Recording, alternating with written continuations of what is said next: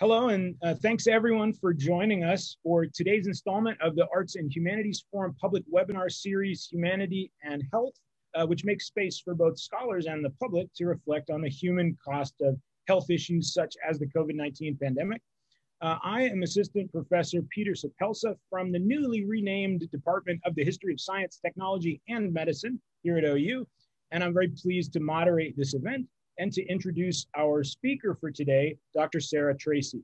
Uh, before I do that, I need to acknowledge our co-sponsors, who include the Office of the Vice President for Research and Partnerships, the College of Arts and Sciences, uh, the Hudson College of Public Health, the Office of the Vice President for Research up at OU Health Sciences. Um, and our guest speaker, Dr. Tracy, is Edith Kinney Gaylord Presidential Professor and Associate Professor of the History of Medicine and of Food Studies in the Honors College and also director of the Medical Humanities Program here at OU. Her research areas include histories of medicine and public health, histories of alcohol and drug use, food studies, and most recently, biography. She holds a PhD from the prestigious History and Sociology of Science program at University of Pennsylvania and is the author of the 2007 book, Alcoholism in America from Reconstruction to Prohibition, published by Johns Hopkins University Press. Her talk today is entitled The Heart of the Matter American Cardiology and Cold War Diplomacy, 1855 to 65, which comes from her current book project, a biography of the globe-trotting American physiologist, cookbook author, and health revolutionary, Ancel Keys. Um, so this talk puts Keys' work in cardiology in the context of international Cold War diplomacy. So thanks very much for being with us, and I'll turn it over to you, Dr. Tracy. Okay, Thank you so much, Pete. Uh, it's really great to be with you and everyone else uh, for today's Humanity and Health seminar. And uh, as I was saying to you earlier, uh, this is National Public Health Week, right? So it seems uh, uh, well timed to be talking about Ancel Keys. Um, I want to thank the Humanity and Health Seminar Director, Janet Ward, and my thanks also to Connor Neal, who's helped with and will be helping uh, with today's Zoom uh, uh, facility. Um, so let me give you a little bit of background for my talk this afternoon. And Connor, if you could cue up the slides, that would be that would be great. Um, what I'm presenting, as Pete uh, referred uh, to, is part of a larger biographical uh, project about uh, Ansel Ancel Keys. And there we go. Uh, perfect. Thank you. Uh, and I apologize for the crowded nature of this slide, but Keys lived 100 years and he packed a lot into, into his century. Um, uh, Keys was a, an oceanographer turned physiologist turned epidemiologist, and his life, as you can see, extends across the whole of the 20th century. Um, I'd, I'd like to say um, you know, with all of his contributions to the life and biomedical sciences, that he's really a contender for uh, the title most important biomedical scientist no one's ever heard of. Um, it wouldn't have been the case in the Cold War, but but very few people have heard of him today. Um, if you have heard of him, it's probably in relationship to the diet heart hypothesis that diets rich in saturated fat cause heart disease. Um, he was one of uh, the diet heart hypothesis uh, earliest and loudest advocates beginning in the 1950s. Um, and uh, you, if you didn't hear from him, uh, hear about him through that, you might have heard about him through uh, his work on the health benefits of the vegetable, fruit, and olive oil forward Mediterranean diet. Uh, Keys was among the first to promote the Mediterranean diet to improve heart health. And he popularized his views by writing cookbooks, um, best selling cookbooks, both internationally and nationally. Um, he wrote these with his wife, Margaret, a biochemist. Now, I'm using Keys's long life to tell a range of stories uh, about the development of the life and biomedical sciences and their intersection with politics across the 20th century most of Keys's uh, career took place during the Cold War. And that's the period between 1946 and 1991 when world politics and just about everything else was influenced greatly by the tense relationship uh, between the US and Soviet Union. uh, and the potential threat of nuclear annihilation. The story I'm going to share with you has to do with some of Keys's activities at the height of the Cold War, 1955 to 65.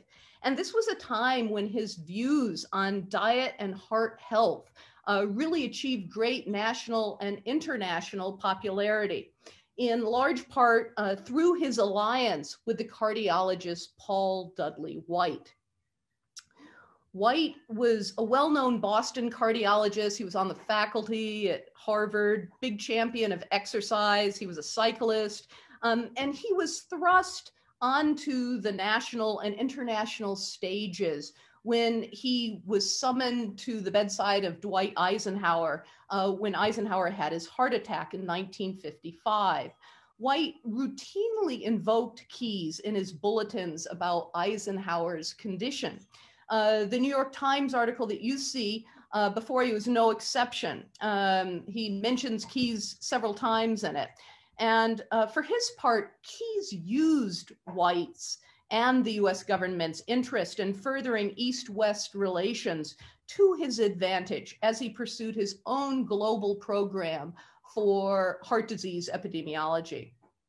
So, um, why is this story interesting and, and important? Well, um, it presents a new variety of soft power diplomacy during the Cold War, heart disease diplomacy. Um, so, in, in, essence, it broadens our understanding of the medical profession's role in Cold War diplomacy, moving beyond the vaccine diplomacy, that is, the polio vaccine diplomacy uh, and you see here uh, Albert uh, Sabin with uh, Mikhail uh, Chumakov and his wife, also a virologist, uh, talking about the pursuing oral polio vaccine. Um, so it's not just polio, it's not just infectious disease, but also chronic disease that played a role in Cold War diplomacy. Um, and if we look at cardiology in the Cold War, uh, we can also see the uh, dynamic relationships at the local, the national, and the global levels, and how local doctors in a variety of foreign countries uh, were empowered through training in cardiology. Um, and at the same time, uh, this training involved Ancel Keys and Keys's methods to pursue global heart disease epidemiology. So his way of doing things becomes the standard for a large part of the world. And um, I, I, think this is a case of American medical imperialism in an area in an era of geopolitical decolonization. And this is part of my interest in how Keys gains influence both nationally and internationally. Also, um, the case of cardiology um, reminds us uh, that uh, there's more to Cold War diplomacy and science uh, than the space race, the green revolution, and big science. Most of the work I am going to be telling you about today uh, was funded through NGOs such as the International Society of Cardiology and the American Heart Association, sometimes the World Health Organization. Um, and the work that uh, Paul Dudley White and Ancel Keys pursue uh, helped to uh, it, it, it, it, led to more permanent exchange programs, in particular the Lacey-Zarubin Agreement in 1958 for cultural, educational, and medical exchanges between the U.S. and, and Soviet Union. Um, so uh, I also, full disclosure, I'm about to write the chapter on the seven countries study. And so understanding more about this and how it fits within uh, the literature on the Cold War um, is, is on my mind right now. And so I really welcome any of your suggestions about how I might uh, improve this or um, develop this in the future. So um, let's start uh, with the, the formal presentation. In the summer of 1946, Albert Einstein, as chairman of the Emergency Committee of Atomic Scientists, was interviewed by Michael Amrine, a reporter for the New York Times. Contemplating the dangers of the new post atomic world, Einstein observed the real problem is in the hearts of men. Now, these were words that any American cardiologist of the day would have agreed with quite literally. Uh, in 1946, uh, at the start of the Cold War, heart disease was the leading cause of mortality for Americans, followed by cancer and stroke. And it was a top cause of death uh, across the industrialized world. Um, it still is today, um, and it's also a leading cause of death uh, in much of the developing world uh, as well. Einstein, of course, was not talking about diseases of the heart. Instead, he referred to the need to teach the public about the looming threat of nuclear war and uh, to foster a desire for international peace and goodwill at home and abroad.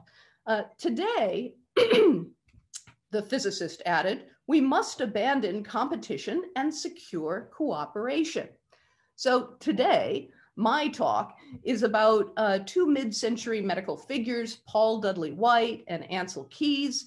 Um, both men worked uh, tirelessly to secure Einstein's vision of global peace and goodwill among nations in the 50s and 60s, but through the vehicle of cardiovascular research. Their efforts were at the center of a larger health for peace movement within American medicine and public health uh, that took shape during the Eisenhower and Kennedy administrations. You might say that Keys and White orchestrated a cardiology for peace um, campaign. And this involved the creation of international societies, uh, the development of world congresses, uh, the uh, the uh, conducting of uh, cardiovascular epidemiology across the globe, Keys' seven countries study, um, exchange programs, uh, testifying before Congress in favor of a new NIH division that would support international medical research, and also the creation of 10-day uh, seminars uh, to train cardiovascular researchers their campaign, the campaign of Keys and White, um, was also privately funded, as I mentioned earlier, and it enlisted health professionals from around the world to investigate diseases of the heart, to promote heart health, and to advance global goodwill and peace among Eastern and Western Bloc nations. As private citizens, Keys and White emphasized a people to people or scientist to scientist dialogue um, across the so called Iron Curtain. They may have failed to bring about world peace, but Keys and White were successful in building a global community of cardiologists who were interested in epidemiological research. In fact, they were actually creating um, uh, creating this field of heart disease epidemiology on an international scale. Uh, disease, they like to say, knows no national boundaries. And today, in the middle of the coronavirus pandemic, this is certainly a message that rings familiar. Through epidemiology, which I am defining very broadly as uh, the study of health and disease within and across populations, not individuals, but populations, Keys and White helped usher in a new era of transnational biomedical research in the 1950s and 60s. At the same time, they did much to win the allegiance of their foreign colleagues and study participants. Um, thus, their self defined overseas mission was twofold. First, to determine the causes of heart disease uh, through cross national, cross cultural population comparisons. And second, uh, to build a global community of medical specialists who would foster world health and world peace as they waged battle against their mutual foe of heart disease. Testifying before Congress in 1959 um, uh, in support of a Health for Peace program um, that would uh, uh, create a new branch of the NIH to support international medical research. White articulated these goals. If only the physicians and medical research workers of the world could be more closely knit together in friendly relationship and in fruitful research in particular, their influence on international health and happiness could be profound. with at least a strong possibility that a contribution toward worldwide peace could be a vital byproduct. So let me tell you a little bit about Keys and White. Um, I'm going to present them to you and then uh, a snapshot of their collaborative efforts that mostly will focus on the seven country study, uh, which was the first epidemiological study to systematically examine the relations among lifestyle, diet, and rates of heart attack and stroke in contrasting populations. Um, to coordinate this kind of study, uh, to coordinate a seven nation study, and the nations again were Finland, Italy, Greece, Japan, the Netherlands, the US, and Yugoslavia to coordinate a seven nation study on three continents and include one communist country was no small undertaking in the 1950s. Before the internet, before jet travel was common or affordable, and before cardiovascular epidemiology even existed as a public health field. Keys used every resource at his disposal, including White's international popularity and including the Cold War rhetoric of science and disease as taking no political sides. And I hope to illustrate in this talk just how these two heart specialists interwove their scientific and their diplomatic goals uh, during the Cold War. First, Ancel Keys.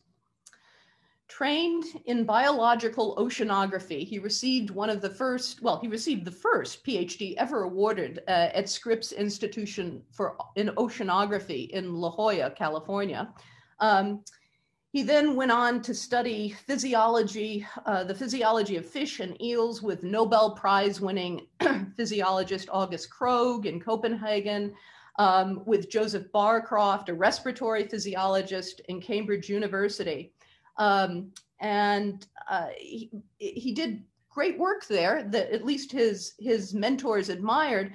But in the middle of the Depression, Keys was really striking out in finding an academic post in comparative physiology. So he skipped species. Um, he decided to retrain as a human biologist at the Harvard Fatigue Lab uh, following his return from Europe in 1933.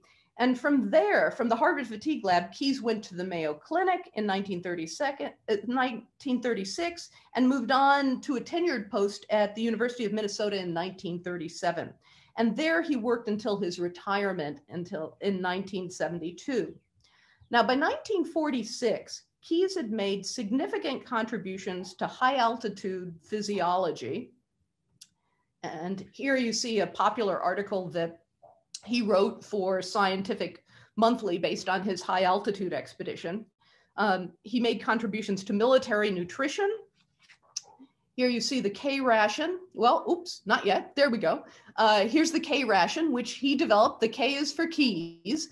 Um, uh, the first meal ready to eat in 1941, he developed this for the US military. And he also made contributions uh, by 1946 to the biology and psychology of human starvation and rehabilitation. This was the Minnesota starvation experiment. And uh, Keys helped guide post war refeeding efforts in Europe that based on this study of starvation and rehabilitation among conscientious objector volunteers. In 1952, Keys was understandably ready for a break. Um, he left uh, Minnesota to take a sabbatical year at the University of Oxford. And at about the same time, he became chair of the United Nations Joint Committee on Nutrition. The committee was a collaborative effort of the Food and Agriculture Organization and the World Health Organization. And my point here, um, and I'm sorry, this is work that's based on the starvation study um, uh, that he did for the UN Committee on Nutrition. But the point here is that this is when Keys began to seriously examine what people around the world were eating or not eating. Um, uh, it was uh, working as a consultant for the UN that Keys also made a significant number of foreign contacts and learned which nations kept reliable data on the health of their populations. Already concerned about heart disease as the leading cause of death in the US, Keys became intrigued by the comments of an Italian colleague he met at a UN Nutrition Committee meeting in early 1952. A Neapolitan uh, health commissioner claimed that there was very little heart disease, no heart disease, at his hospital in Naples. And he thought that this might have something to do with the diet of most Neapolitans, uh, which was low in meat and dairy fat and high in vegetables and olive oil. Keys, who was tired of the cold, drizzly Oxford winter, uh, abandoned England in March of 1952 to see if the physician from Naples was correct about the low numbers of coronary patients. And it turned out that he was correct, but only with regard to the working or laboring classes, who also enjoyed low cholesterol levels, it turned out, and ate a mostly vegetarian diet. Those with more wealth uh, ate diets that more resembled those of Americans.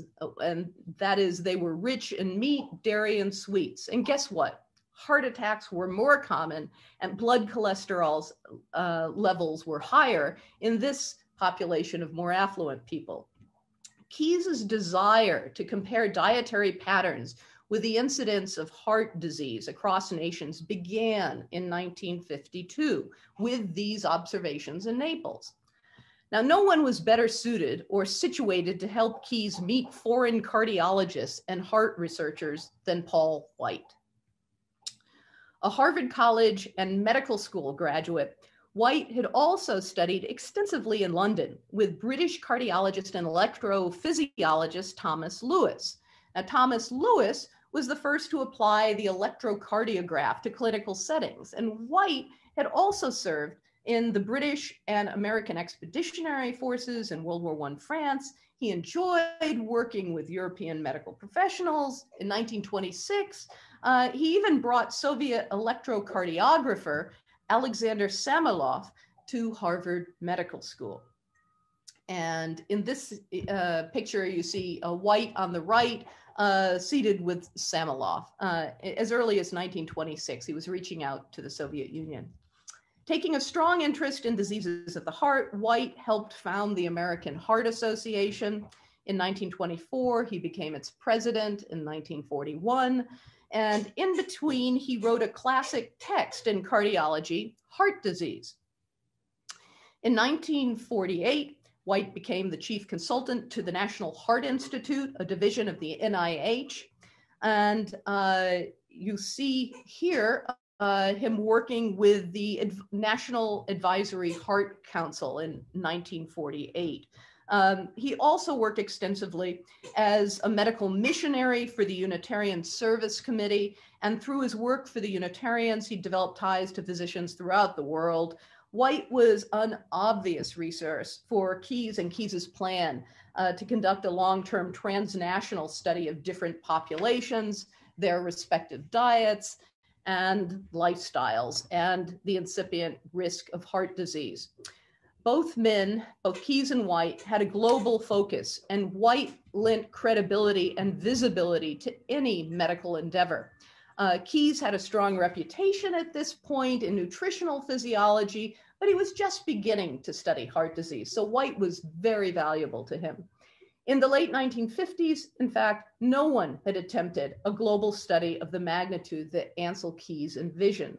Keys saw the world as his laboratory, and nations with contrasting modes of living, different eating patterns, and varying levels of heart disease were Keys's natural experiments. Through, na- through transnational comparisons, Keys was trying to pinpoint the preventable causes of heart attack which honestly, until the mid 20th century, was simply seen as an inevitable consequence of aging. Keys and White both thought other nations had a lot to teach Americans about their health.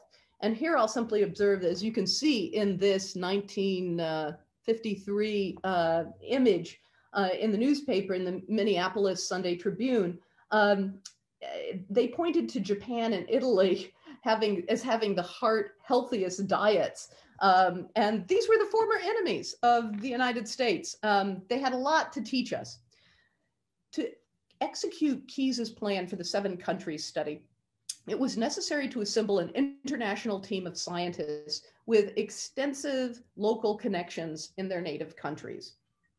These individuals would travel to Yugoslavia, Italy, Greece, the Netherlands, Finland, Japan, the US uh, to take physical exams, conduct dietary surveys, uh, and take randomized samples of daily foods.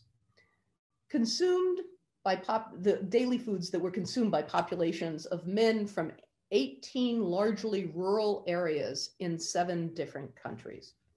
Pilot or feasibility studies began in 1953, and the study was put in place in 19, between 1958 and 1960, with data collected every five years thereafter from 13,000 study participants. This was a mammoth undertaking uh, in the mid 20th century, um, especially without US government funding. And remarkably, the seven countries study continues to this day with just a handful of surviving Greek villagers who are now in their 90s and, and early hundreds. And this, this work, um, uh, the seven countries study, has probably done as much as any cardiovascular disease study, um, with the possible exception of the Framingham Heart Study, to direct attention to the causes of popular population rates of heart disease. The seven countries study demonstrated how dietary saturated fats and blood cholesterol levels can be used to predict heart disease prevalence within populations. So, person to person interactions among the international researchers and between researchers and participants proved vital to the success of the seven countries study. Indeed, one of the striking features of both the seven countries and its pilot studies was the degree to which an international mix of cardiologists and nutritional scientists helped run the field surveys in each of the nations. In, the photo, in, in this photo, you see um, cardiologist uh, Noboru uh, Kimura from, uh, from Japan uh, and from the Japanese arm of the seven countries study, and he's examining a Dalmatian uh, study participant um, as local seven countries physician Ratko Buzina to his left with his arm over his chest um, uh, uh, looks on. And in, in the next photo, um, uh, this is a pilot study done in the southern Italian town of uh. Uh, and Japanese physician Noboru Kimura confers with Italian internist Alphonse Del Vecchio, uh, with white on the left and with sorry with keys on the left and white on the right. This kind of international cooperation was essential uh, to ensure that standardized methods were applied in each of the study's populations. If they were going to compare nations, they had to have standardized techniques. Um, but as uh, successor, uh, at the Laboratory of Physiological Hygiene, Henry Blackburn has described there was also great camaraderie that existed among the researchers who traveled with one another from village to village in these rural areas, sometimes by car when the roads were good enough, sometimes by mule, uh, sometimes on foot, carrying all this equipment with them. Likewise, Paul Dudley White um, made every effort to help Keys recruit subjects for the seven countries. And White often gave brief speeches to local groups to draw in participants. Uh, this was the case, for example, at the Rotary Club in Naples, where having discussed the international scourge of heart disease and the high rates of heart attack in the US and in Sweden, White appealed to the Rotarians for their help um, and uh, he he wanted a, a, group essentially of affluent Rotarians, and uh, he needed them to round out the study participant group. Uh, and he he appealed to the upper level of Neapolitans like yourselves, doctors, lawyers, officials, businessmen, who, in contrast to other groups, have a good deal of coronary disease. It's nothing like trying to frighten your uh, your audience into participating in your uh, study. That's what White kind of did in this case. Um, the Rotarians, though, they complied. Uh, they flooded the clinic with calls to schedule their tests. Partic- participation levels were much the same in uh, a very different area, Tito's Yugoslavia um, the first country where field surveys of diet and lifestyle were conducted in 1958. And there uh, in Yugoslavia, about 95 to 98% of townspeople who were eligible uh, to participate in the study along the Dalmatian coast and within the eastern plains of Slavonia, they participated. Um, moreover, many of the townspeople, uh, mostly fishermen and farmers, invited the researchers into their own homes for dinner. They prepared local fare from the seas, from the fields, and provided um, uh, the multinational teams of physicians with firsthand knowledge of uh, Slavic dining and hospitality. Um, you might say this was an example of uh, dinner table diplomacy. And uh, there you can see a group in Greece and the bottom right, and uh, a man with his uh, um, water buffalo, I think, uh, on the left from Dalmatia. Um, the seven country study was but one of Keys's and White's projects to promote transnational diplomacy.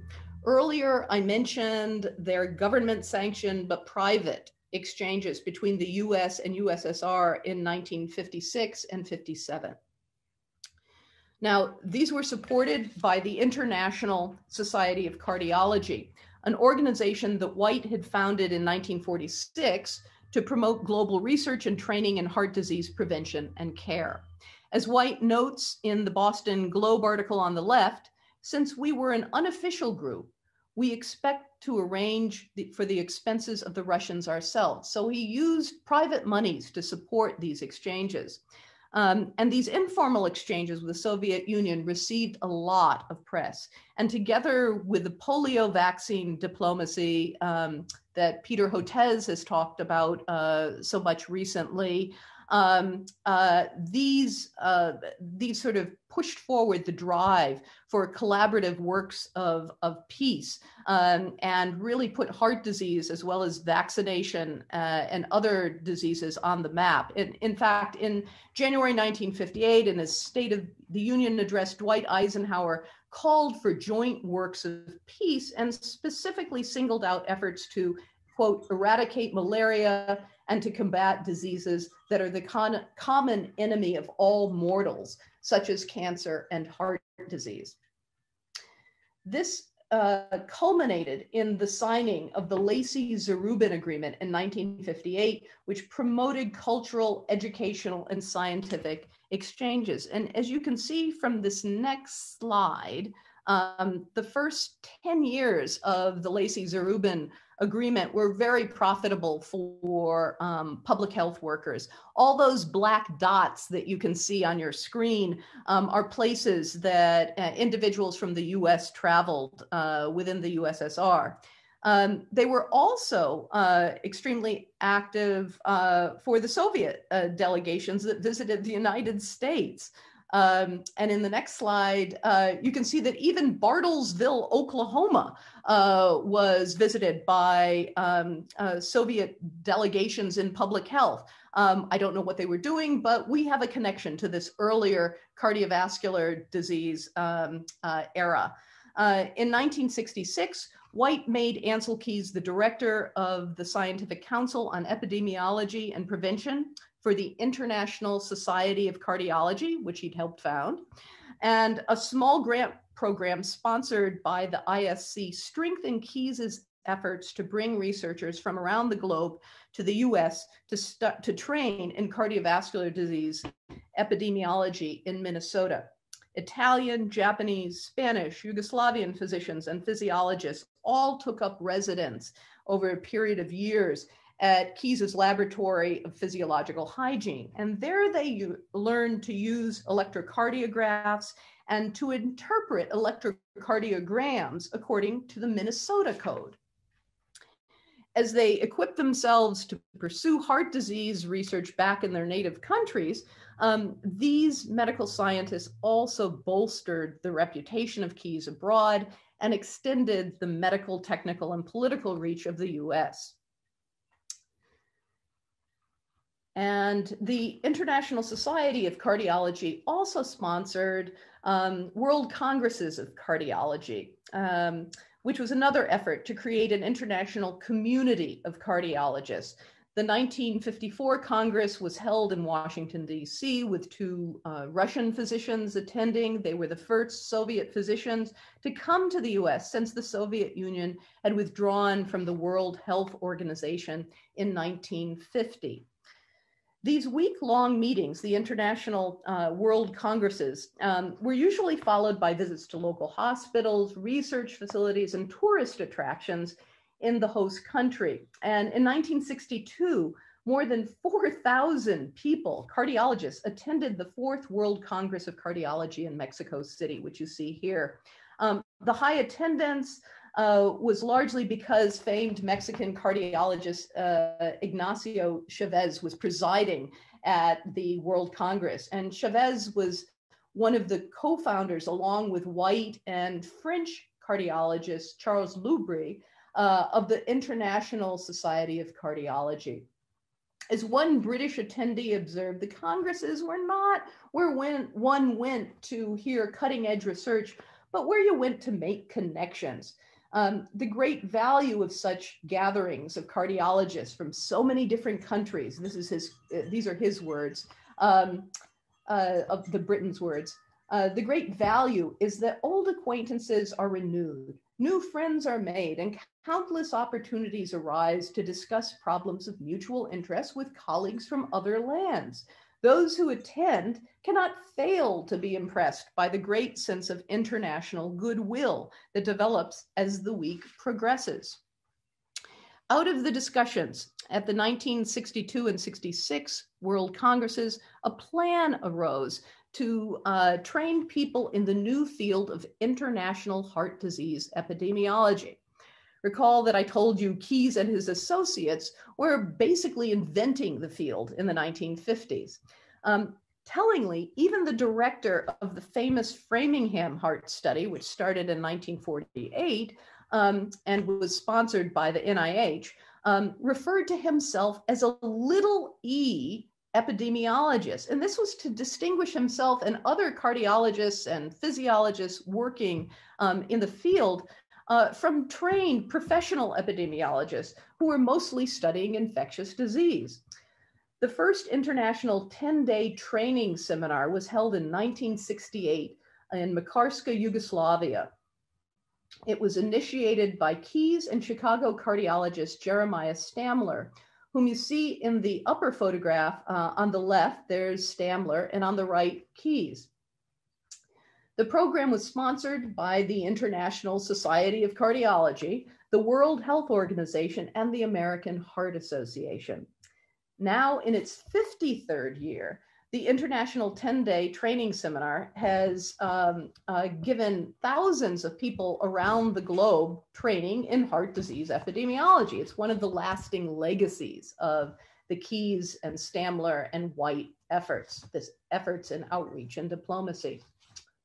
So, um, to conclude, um, Paul Dudley White and Ancel Keys were not the only heart disease specialists with world peace on their minds. If we fast forward a bit to 1985, we see that Harvard cardiologist Bernard Lown and his Russian collaborator, cardiologist and Kremlin physician Yevgeny Chazov, won the Nobel Peace Prize for founding and leading the NGO International Physicians for the Prevention of Nuclear War.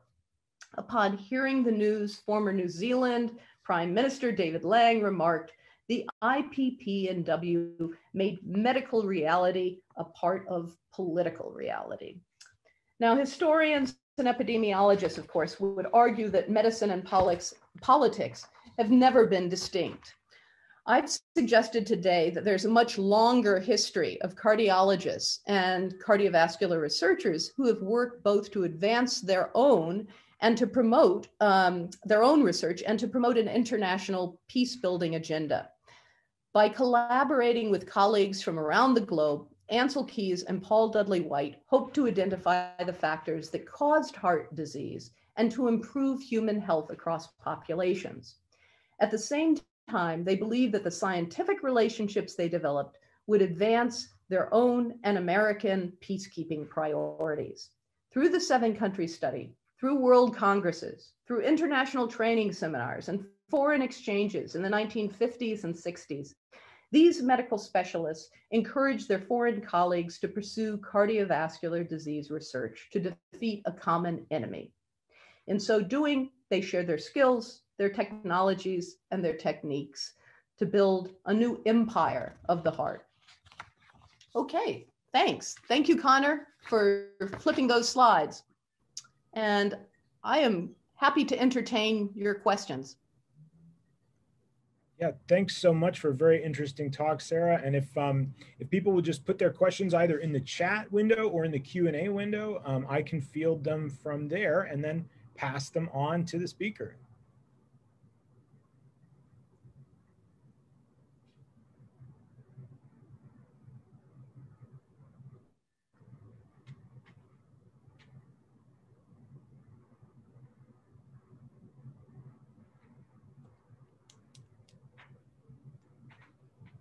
Well, while we wait to see what people come up with in the chat, I might start with a question of my own. And that is um, given that uh, I was really fascinated by the Health for Peace movement and this bigger uh, chronological moment you describe of a kind of high point for uh, US Soviet health diplomacy and, and also more robustly international health diplomacy at a pretty hot moment of the Cold War. And I was thinking about all of the other international health programs you mentioned from malaria and polio prevention.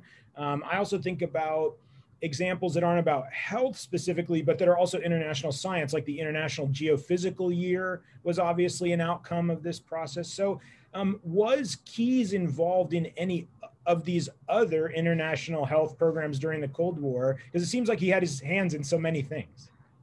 He had his hands in a lot of pots. Um, but uh, he was not. He was he was really, you know, he testified before Congress in 1959, um, as did White, um, basically saying yes, we need a new NIH institute to um, pursue um, uh, the support of international research. This is a, a profitable way um, uh, to work uh, and uh, we, we we don't have the money basically. But these these acts of fighting disease are ones that everyone can embrace, uh, it, it, regardless of their politics.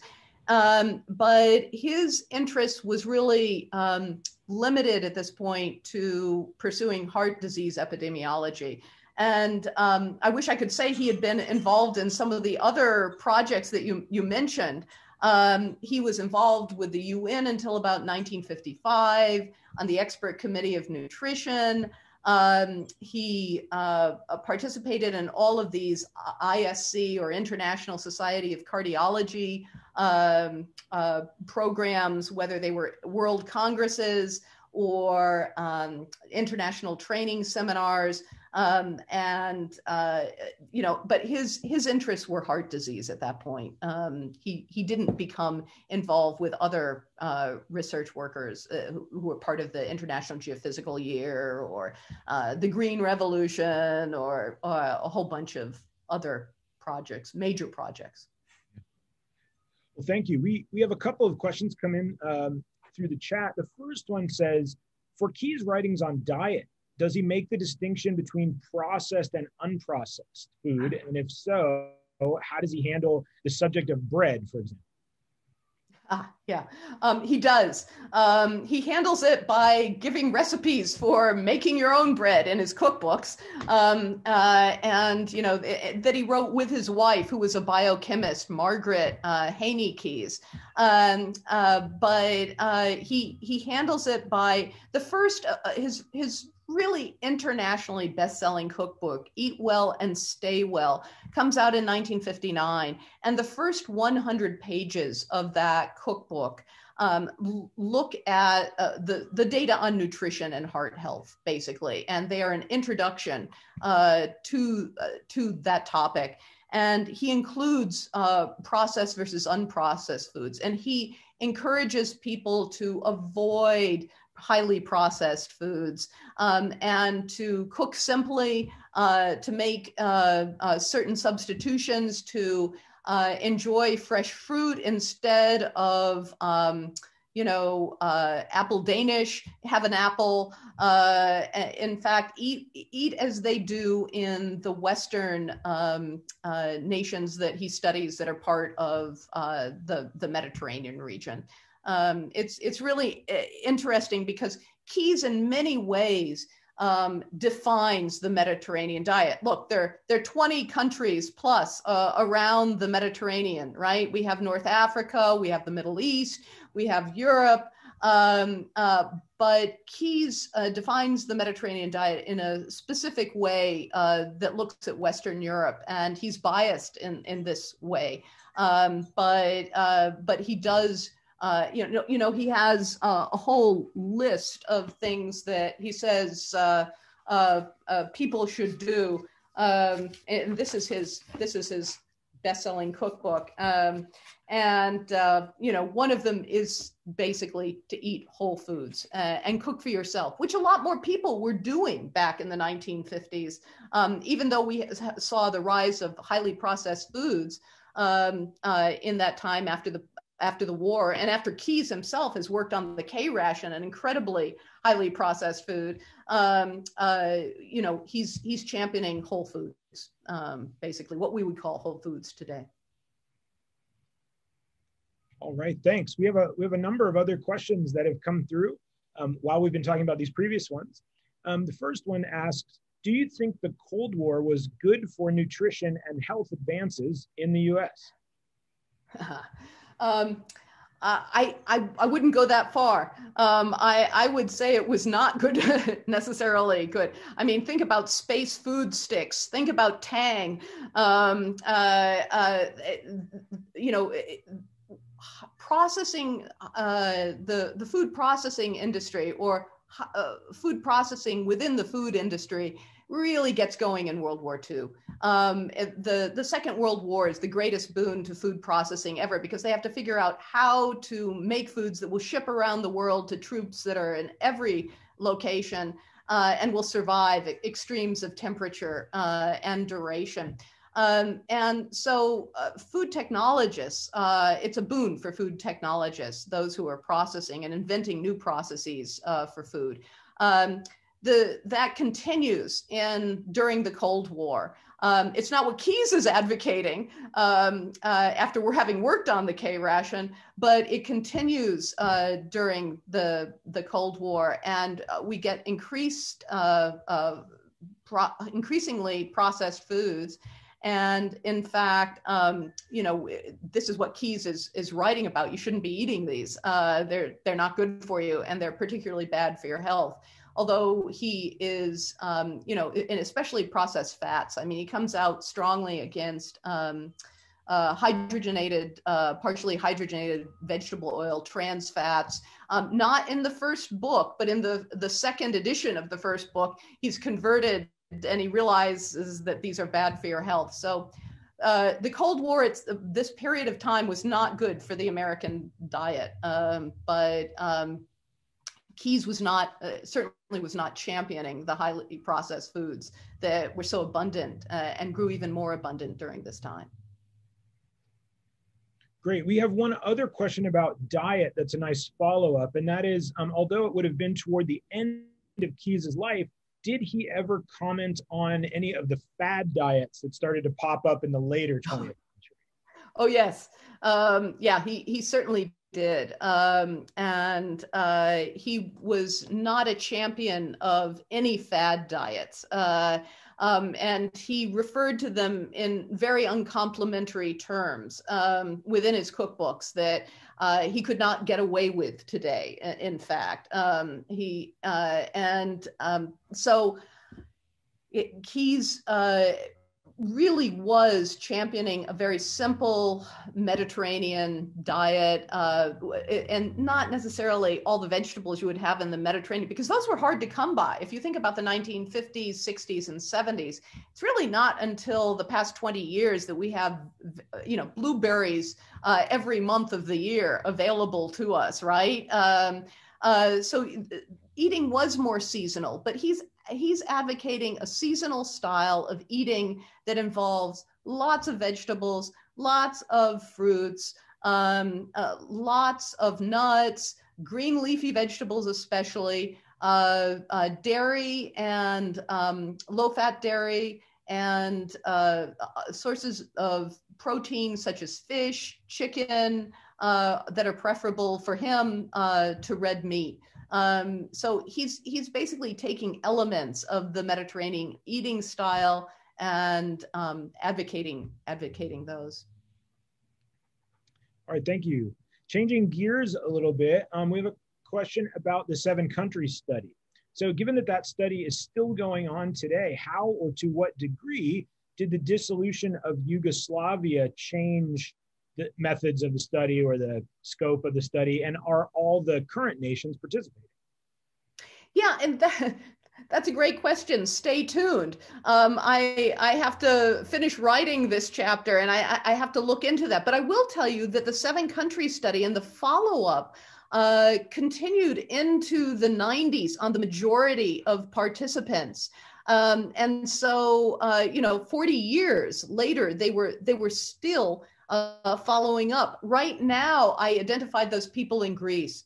Um, they are the only remaining living subjects within the seven countries study. And they're beginning to do a variety of new tests on them to look at, you know, um, at uh, their genetics uh, to, to see if there's something else uh, afoot that accounts for their uh, incredible longevity. Um, of course, there's also the field of epigenetics. So it may be in part the diet that they've been eating, the lifestyle they've been living. Um, but those, those people who remain are incredibly savvy and uh, about their health. And what's so interesting to me when I went there and interviewed them a number of years ago, uh, they were still talking about the study, talking about their participation, and it had led to them keeping really current. And they had a very, they were, many of these older people were tending their gardens. That was their physical exercise now. They were tending their gardens during the day, and they realized that the vegetables that they grew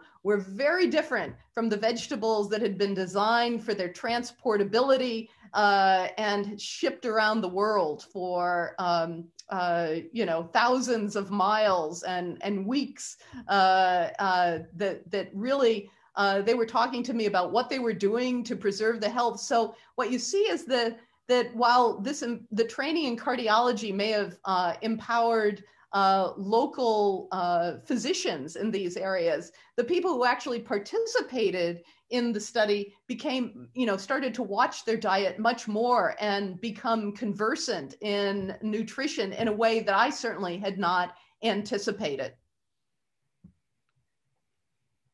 Great. Um, following up on that last question is another question in the chat that asks Did the, dilu- the dissolution of the USSR affect any of these international uh, medical cooperations? Yeah, the Lacy uh, Zarubin uh, uh, document or exchanges uh, end uh, and they're renegotiated um, in the 80s and renegotiated in the 90s. So the Lacy Zarubin years are about 15 years, I think, uh, uh, and uh, longer than the 10 years that I showed you in this particular uh, talk. Um, but those negotiations are changing. And of course, it's much easier today to go between, with, with the exception of the pandemic, uh, to go between these nations, um, uh, between Russia. Um, and of course, you know, the dissolution of the Soviet Union um, and the splitting up, as, as your, the previous question indicated, um, uh, changed things to a certain degree, the politics, uh, the visas uh, necessary to do this work. But there were researchers on the ground who trained subsequent generations of researchers, and the internet uh, um, made it possible to you know, communicate at least uh, data uh, among researchers in the late 90s and 2000s. All right, well, we just have a few minutes left. If anyone has any further questions, um, please post them to the chat and we'll get to them.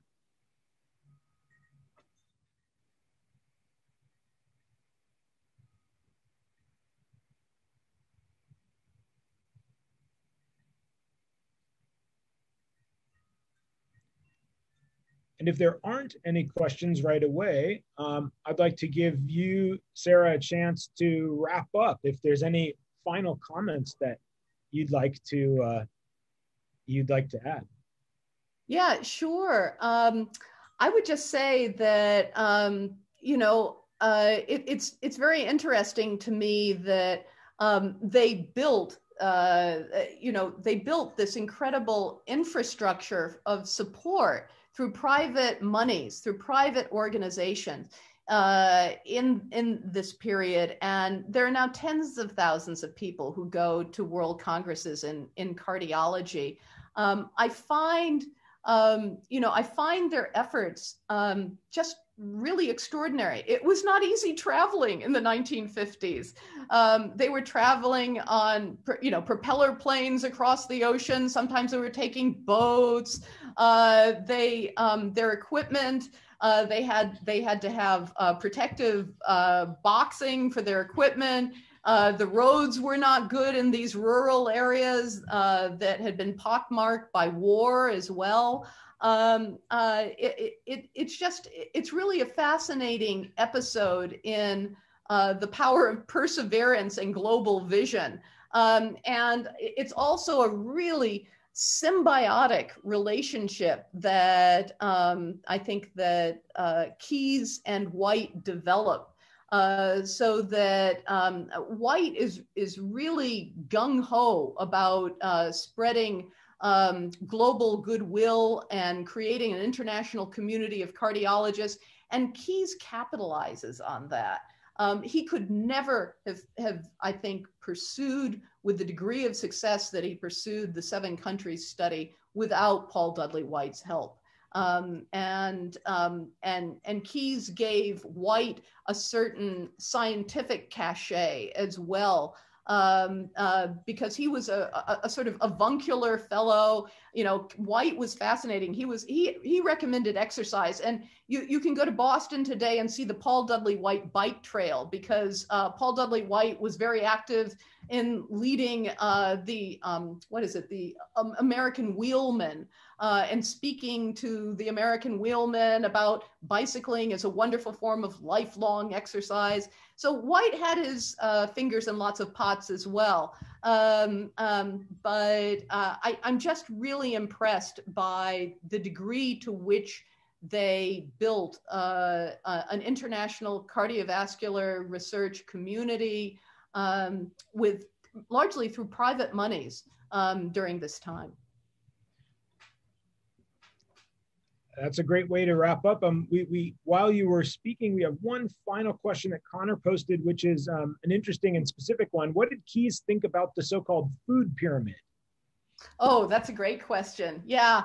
Um, well, uh, he he uh, you know appreciated any uh, part of nutritional advice and you know that, that he wanted to teach people how to eat well right that's why he wrote his cookbooks but um, the eh, I he was not um, he was not a great fan of the food pyramid because he felt that it it was not specific enough, advocating you know whole grains or portion sizes, uh, a whole host of of uh, there were a whole host of problems with it. But what's interesting is his collaborators get a hold of the U.S um, uh, that his collaborators in Italy, at least, get a hold of the US food pyramid and they say, This is terrible. We can't believe that people are using the food pyramid. Uh, we need to come up with uh, a better uh, a, a, better image for to teach people. And so they they developed the the food temple the greek temple or or the roman temple. And so they create a with different pillars of different whole foods. And uh, so the the iconography of uh, good nutrition is something uh, that that is really wonderful, and you could write a paper about that. Um, and uh, so, uh, it, you know, Keys was a critic of this, and yet Keys's research on um, dietary fat uh, also influenced uh, the creation of the the food, first food pyramid um, and the McGovern Committee in 1977's uh, first dietary guidelines for Americans. um, were influenced by Key's views on diet, the role of dietary fat, especially saturated fat, um, and heart disease. They were also uh, influenced um, by lobbying groups from the food industry. So it's an interesting story. The great, great question. Well, that, that wraps up our time for today. I want to thank our speaker for a fabulous talk. I want to thank Connor for his tech support and everyone in the audience for attending and for your great questions. Thanks a lot for being here. Thank you. I appreciate it.